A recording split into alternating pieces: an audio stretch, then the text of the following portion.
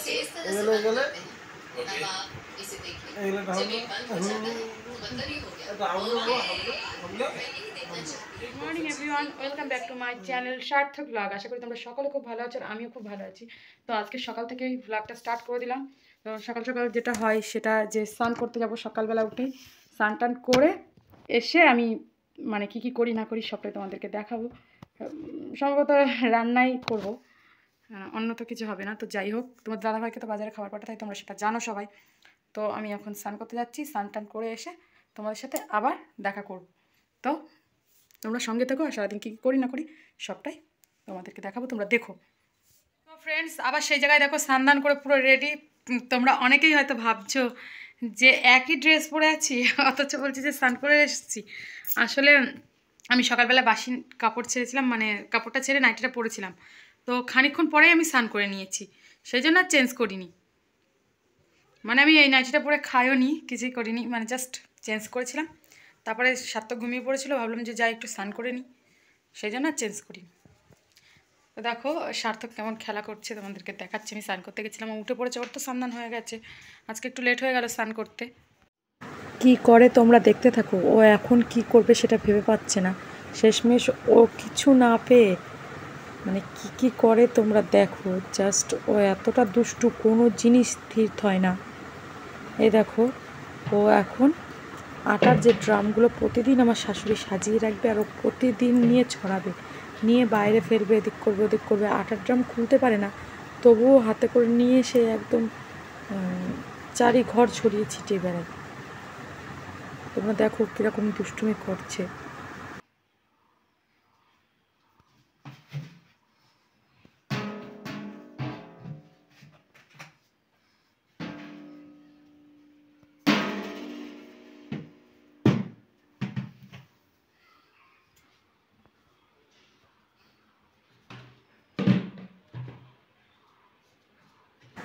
দেখো, পারছে না, তাও নিচ্ছে। তার মানে বুঝতেই পারছ কতটা দুষ্টু হয়ে গেছে।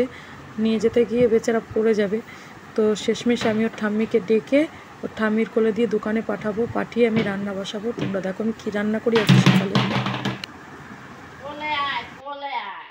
তুই ওদের মতো নামতে যাচ্ছিস তাই কেউ আয় কোনো দিন এখন আজকে পাঁচ বছর খাওয়াবে না আমাদের বাড়ির পিছনের বাড়ি থেকে দুটো বাচ্চা এসছে, দুই বাড়ি থেকে দুটো বাচ্চা এসছে। ওদের সাথে একটু খেলা করছে, তা ওদের মতোই ও করতে যাচ্ছে, সেটাই ওর ঠাম্মি বলছিল।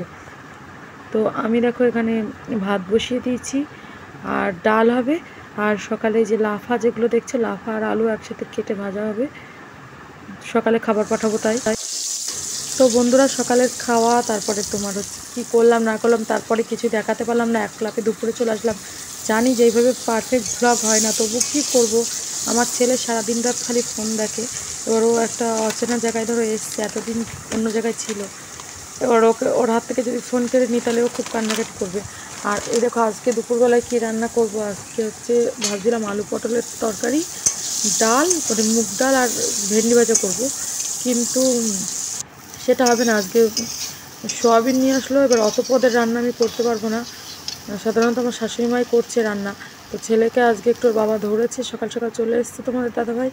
সেই জন্য আমি আলু পটল যখন ভাজছি, ভাবলাম সয়াবিন এনেছে, ওটাও ভেজে একদম আদা, জিরে আর একটু লঙ্কা একসাথে পেস্ট করে ওটাকে রান্না করি। আজকে বুধবার নিরামিষ। আমার ফোনে ব্যালেন্স ছিল না, তার কারণে এই ব্লগটা আমি এত লেটে দিচ্ছি। তো একটু এগুলো সব ভেজে টেজে নিয়ে তারপরে একসাথে মশলা কষিয়ে এভাবে রান্না করেছি। দেখো ফাইনালি রান্নাটা দেখতে এরকম হয়েছে। খেতেও খুব টেস্ট হয়েছিল কিন্তু খুব মানে ঝাল হয়েছিল। আর ডালটা সব থেকে বেটার হয়েছিল। আর এইদিকে দেখো ওদিকে দুটো রান্না করতে করতে এদিকে লাল শাক এনেছে তোমার দাদাভাই ওটা বাচ্চে কীভাবে বাচ্চে তোমরা শুধু সেটা দেখতে থাকো।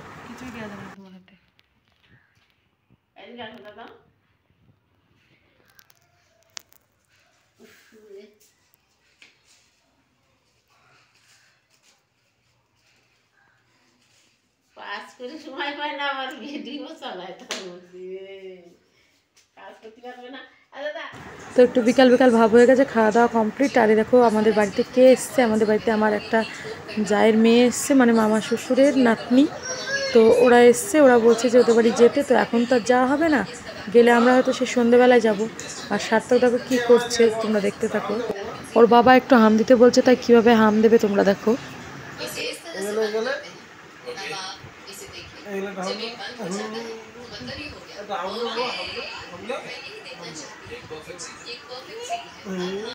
গুড ইভিনিং ফ্রেন্ডস আমরা এখন আমার মামা শ্বশুর বাড়ি যাচ্ছি।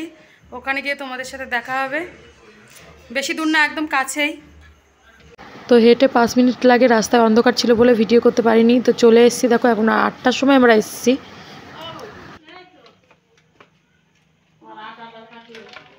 গেট এইটুকু খুলে রেখে দিয়েছ কেন? আমার ছেলে আসতে পারছে না।